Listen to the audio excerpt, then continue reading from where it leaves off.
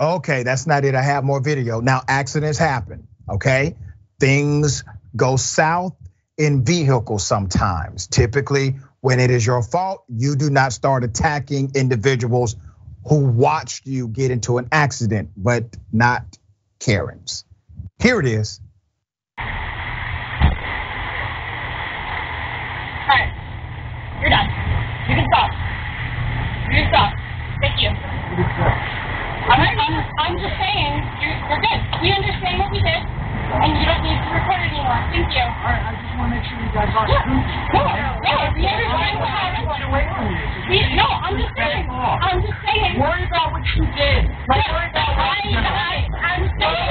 Talk to that man whose store you That's what. I'm trying to do. You don't have to record it. Look at the f- out of here. I'm here.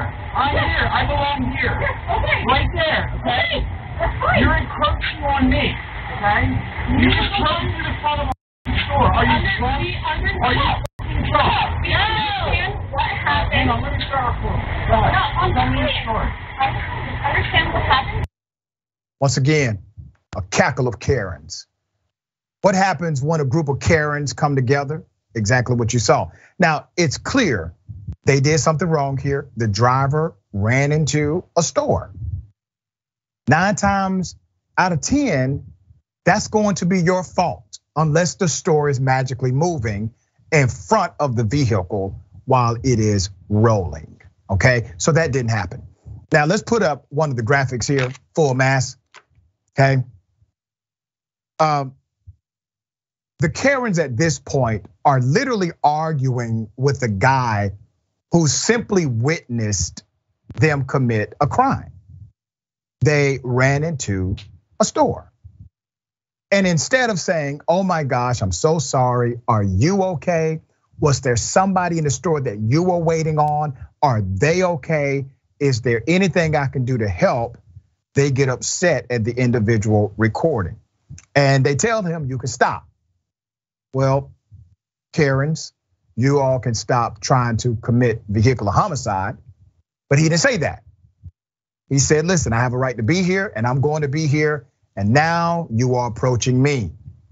Uh, being the Karenicity obviously runs deep here. And they really do, as the individual said, you got other things to worry about right now. Why in the world would you be in that kind of tragedy? Like, that's a tragedy. I don't give a damn how you chop it up. You're in the middle of a tragedy and you're concerned about a person lawfully recording on the side of this tragedy. Help me understand this.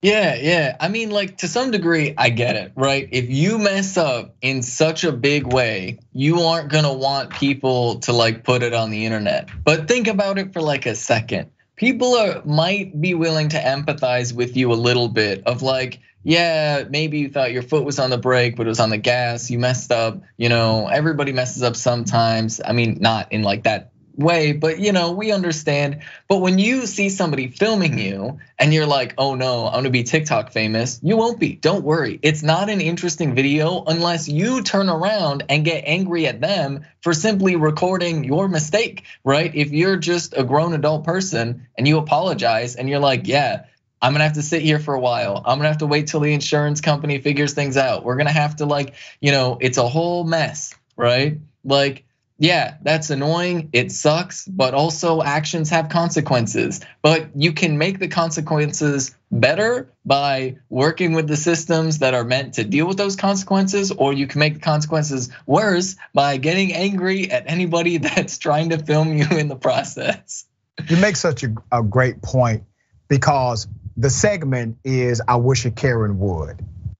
We're not covering the segment because of the accident. Accidents happen. I've been in them myself.